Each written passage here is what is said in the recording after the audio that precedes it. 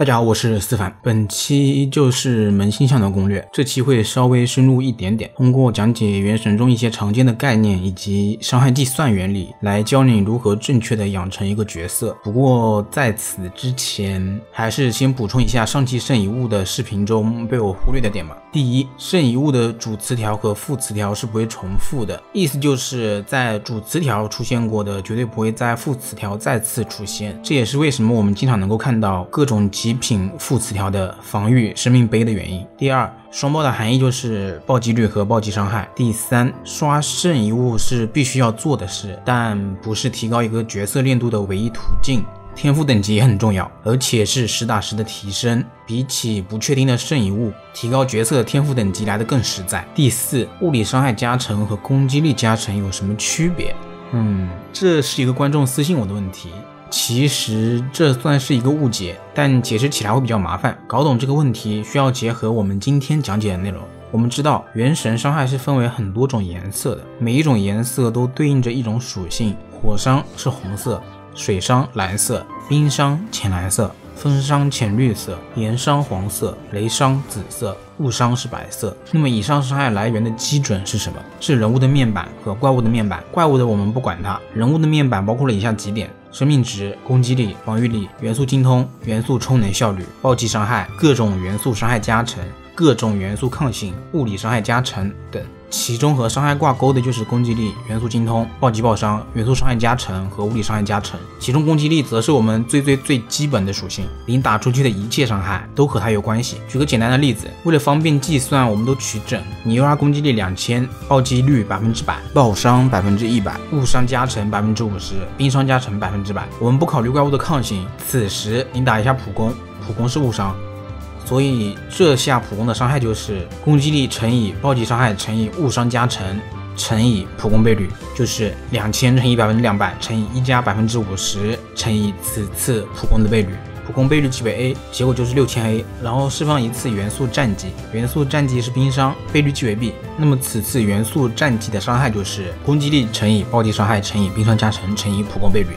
等于两千乘以百分之两百乘以一加百分之一百乘以 b 等于八千 b。可以看到，不论是冰伤还是误伤，它都是和你的攻击力挂钩的。所以其实答案很清楚了，误伤和攻击力完全是两个概念。攻击力是可以加成你所有的伤害的，而误伤只加成白字伤害。不过其实也可以理解吧，毕竟我上学时也会把一些概念给搞混，想当然的认为自己的理解是正确的。不过如果你想要真正的搞懂元神的伤害是如何计算的，还需要了解的更多。首先是基础攻击力，人物面板中比较特殊的就是攻击力了，像基础生命值、基础防御力这些都是人物的成长属性，不受外界的干扰。唯独基础攻击力，它是和武器相关的。点开人物的面板，我们可以发现攻击力有两个部分组成，前者是白字，后者是绿字。这个白字就是我们所说的基础攻击力，它有两部分组成，包括了人物的成长攻击力，就是。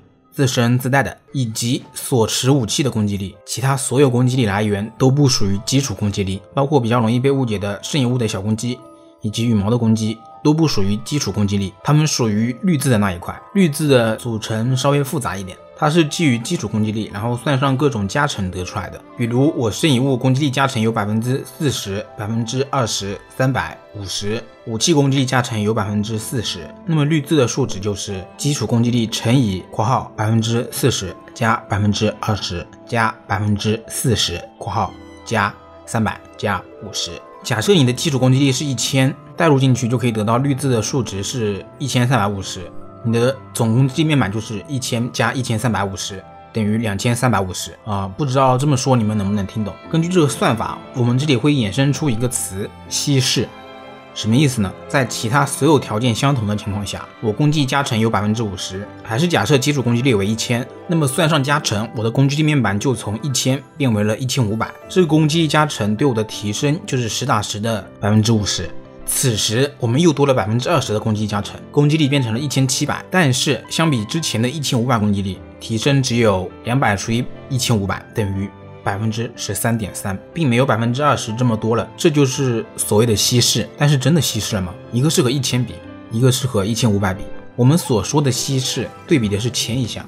每一次的攻击力加成都把前一项当做了一个新的整体，就像有新的百分之二十攻击力加成时，我们把一千五百当成了一个整体，然而我们的算法依旧是基于一千来算的，所以会产生加成了百分之二十，却比前一项只提升了百分之十三点三的情况。可要是也和一千比，那就是实打实的百分之二十的提升，总感觉有一种偷换概念的意思。我其实是非常不喜欢稀释这个词的。因为实际上根本就没有稀释，而且稀释本身这个词的意思就不是这么用的。什么叫做稀释？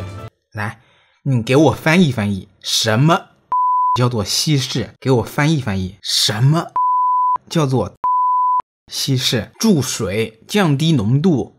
那个叫做稀释，在这里用稀释这个词就很容易让人产生误解。你要是说提升没那么大了，那我还可以理解，因为一开始的百分之五十是乘算一千乘以括号一加百分之五十，而之后的百分之二十是加算一千乘以大括号小括号一加百分之五十小括号加百分之二十。相比于已有的一千五百，那提升确实不大。而你要说稀释，其实就是算法造成的结果。只不过大家都这么用，已经属于是习惯性用法了，改不掉了。但我还是很反感这个词，特别是有些人学会了一个新词，就喜欢到处乱用的，而且还没搞明白这个词到底是啥意思的，就很烦。提到乘算和加算，这里其实还涉及到一个知识点，这也算是所谓的稀释的原因之一。原神的伤害是由很多个区间组成的，比如攻击加成、暴击伤害。元素伤害加成、增幅反应加成等，我们把不同的伤害加成视为一个区间，在我们计算最终伤害时，各个区间之间是相乘的。同区间则是相加。以公子为例，假设公子的基础攻击力是一千，攻击加成百分之六十加百分之五十，暴击伤害百分之两百，水伤加成百分之一百，元素精通为零，大招倍率百分之六百。此时公子放大打到了一个由火元素附着的怪上，且暴击了。公子大招为水伤，根据蒸发两倍伤害可知，此次大招伤害为。一千乘以（括号一加百分之六十加百分之五十乘以一加百分之两百乘以一加百分之一百乘以二乘以百分之六百）等于十五万一千两百。此时我们把其中一个城区提高百分之五十，比如攻击加成再提高百分之五十，那么大招伤害就是一千乘以百分之二百一加百分之五十乘以百分之三百乘以百分之两百乘以二乘以百分之六百。等于十八万七千二百。如果这百分之五十提高的是暴击伤害，那么大招伤害就是一千乘以百分之两百一乘以百分之三百加百分之五十乘以百分之两百乘以二。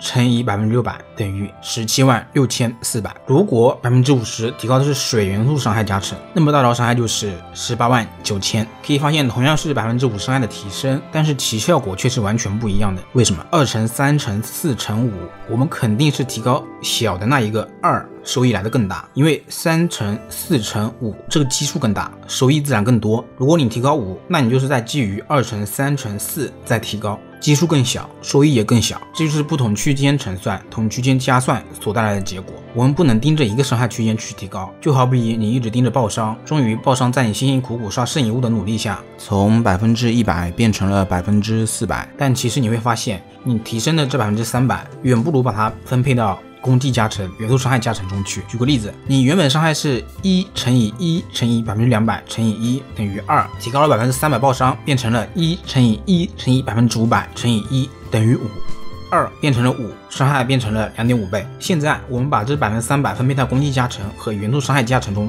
伤害就变成了一乘以括号一加百分之一百五乘以百分之两百。乘以括号一加百分之一百五等于十二点五，和原来的二相比，伤害是几倍？是六点二五倍。所以现在懂了吗？全面发展才是硬道理。木桶能装多少水，是由你最短的那块板来决定的。但说到底，其实就是算法公式的问题。我想了解了这个。